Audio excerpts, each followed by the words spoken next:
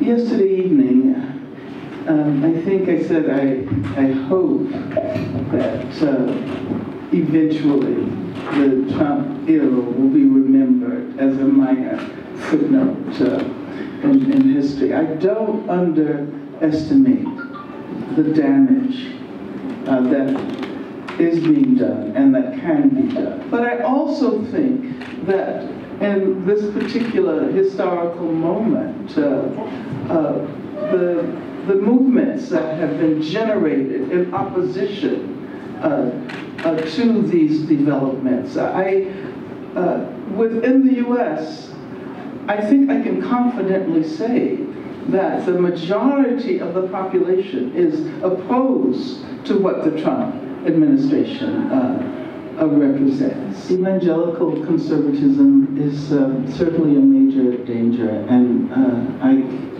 uh, I know that uh, you've confronted this danger here in this country. Women, particularly around the issue of sexual harassment and sexual violence, and um, reproductive rights, really divide on the question of supporting the politics represented uh, by, uh, by Trump and his alliance with the evangelicals, uh, which is a very strange alliance, by the way. Uh, it gives you a sense that it's not the religion that really is at question, but it's the politics.